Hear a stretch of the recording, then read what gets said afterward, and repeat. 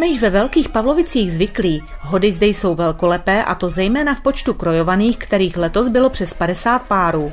I proto ve Velkých Pavlovicích jsou čtyři stárci a stárky a také čtyři sklepníci. Stance a povinností jsme tentokrát vytrhli prvního stárka a stárku, Tadeáše Huličného a Elišku Konečnou. Hody ve Velkých Pavlovicích začínaly především volbou stárku, která proběhla první sobotu v červenci. Dále pokračovala oficiální volba, což jsou zahrávky. Poté následovalo stavění máje. Postavení máje hodová neděle, to je pro přespolní, potom hodové pondělí, eh, hodové úterý a sobota.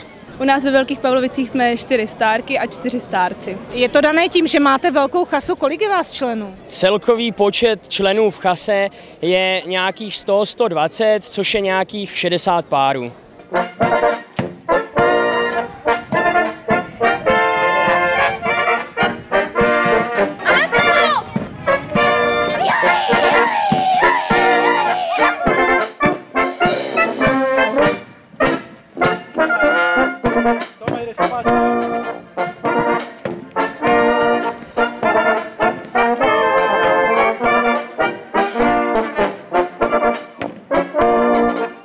Thank you.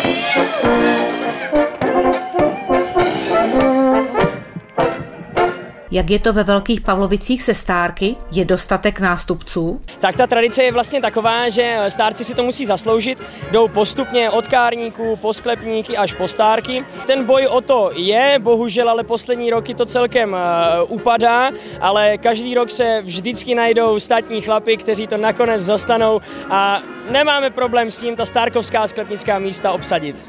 Ono přece jenom je to spousta povinností a spousta starostí i pro vaše rodiny. Tak třeba pro vaši maminku nebo pro vaši rodinu, co to bylo nachystat se na hody a vás nachystat vlastně? No, jde o to nachystat celý kroj, uklidit celý dům, protože v neděli vlastně k nám došla celá chasa, nachystat jim nějaké občerstvení, něco na pití. Byl to pro ní velký stres. Kdo vás obléká do kroje? Mě obléká teta. Jak dlouho to třeba tak trvá, nebo kolik máte kasaní? Záleží, letos jsem měla čerstvě naškrobený kroj, takže to trvalo díl, protože se sukně museli zlomit, ale dneska už to trvalo hodinku.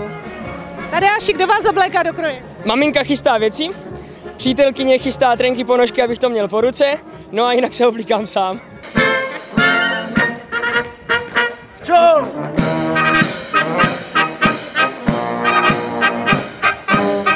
Potenciální základnu pro budoucí členy chasy tvoří také děti z domácího dětského folklorního kroužku Floriánek pod vedením paní Zity Dvořákové. Ty tradice se musí předávat a nejlépe předávat i od malička.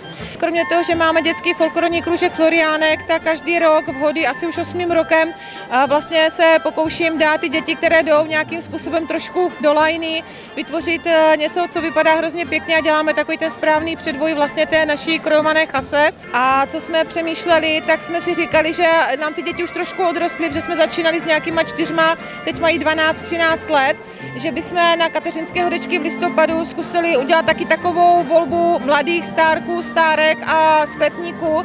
Jednu dobu to tu už bývalo, takže bychom se zkusili k tomu vrátit, takže uvidíme, jestli nám to v listopadu vyjde a na příští rok už bychom měli taky svoje vlastně jakoby v řadě stárky i stár, uh, sklepníky.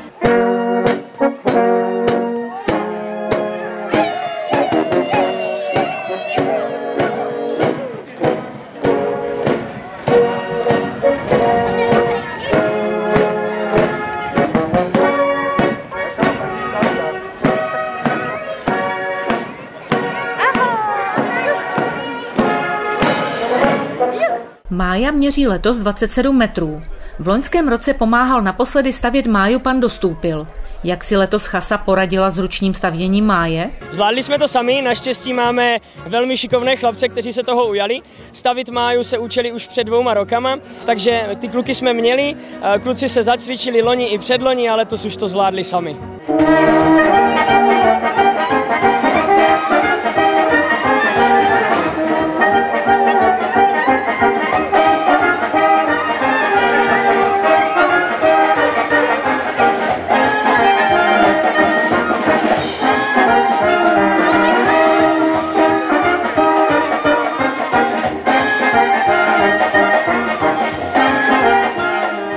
Velké Pavlovice jsou vyhlášené i tím, že ke každému stárkovi je k ruce sklepník.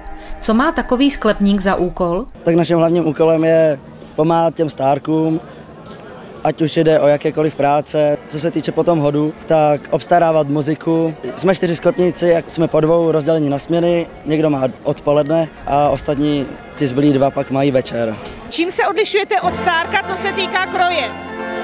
Tak my jakožto sklepnice od stárků máme kosárky a potom zástěru. Co pro stárky znamená stárkování a co by vzkázali budoucím stárkům? Je to jedna z nejkrásnějších věcí a vlastně etapa života, která se tomu stárkovi a stárce může naskytnout.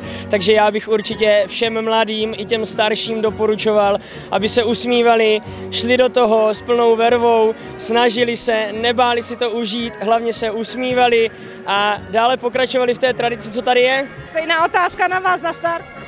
Ano, já si to taky moc užívám a hlavně jsme si sešli skvělá parta a když si ti lidi sednou, tak to jde všechno samo. Já,